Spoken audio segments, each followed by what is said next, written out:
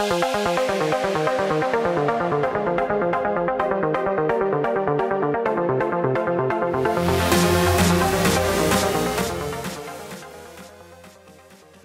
always make it easy for our users to verify the things that the AI is telling them with their own eyes. Um, I mean, AI, just like people, makes mistakes. people make mistakes too, by the way. we, we, we get people yelling at us when, you know, there's some wrong conclusion on there and it's like, okay, yeah, but also people are wrong too. Um, but so, um, you know, the best result comes from when you use both. And so it's kind of like AI assisted human decision making and so a great example of that is, let's say the AI says, hey, there's a well pad here. Um, oh, that's unexpected because there wasn't a permit there. Mm, there's no permit, but there's a well pad. I'm not sure that's something I want to make a bet on yet, but I want to learn a little more. And so we built this thing called Time Machine, or Work Alert Time Machine, where instantly you say, okay, zoom in there and show me what's been happening. And the computer generates within seconds a movie or slideshow that basically shows what was happening in that spot every three to five days, going back up to four years. Now, four years old probably doesn't tell you much, but last year and a half matters.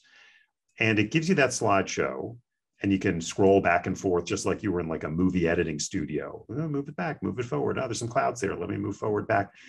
And it not only gives you the optical imagery, which shows you the well pad and some other, and shows you the roads, but you can switch back and forth between the optical imagery and the infrared imagery and the radar imagery. And so the infrared shows you where's the water, and the radar shows you where's the equipment, and the optical shows you the roads and the pad and some other things. And so you zoom right in, you move it around, and what happens is someone who's an expert in investing in minerals will now look at what's happening on the surface there the same way they would have if it was their landman coming back or if they'd paid a lot of money to fly a drone there. And now they don't have to do either of those things because they can say, oh, okay, yeah, I see the road pulling up to that pad. Oh, I see the mud pit. I see the frac pond over there, you know, and some other pads nearby that have the permits. Oh, look, I can see the pipeline infrastructure that they're building toward toward the pad. And so with all that, you weigh that and say, okay, this is really happening. This is for real.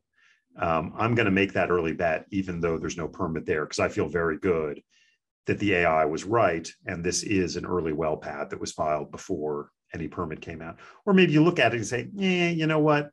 This is something else happening there. They're building a storage shed or something, and, and this is not actually a well pad, or there's something else happening here. And I don't I don't feel good about moving forward on it, or I want to send someone to check it out with their own eyes. Um, but that's a, that's an important example of how we try to facilitate the human decision making element. We're not asking people to just oh trust the black box and you know put your put your put your chips on the table um, and spin. No, you know we're we're trying to give people tools to make better decisions. One of those tools is having that AI assist, but it's not the only factor. There's always going to be a critical role for uh, human judgment and providing data in support of that human judgment, which is just a, a different type of decision making.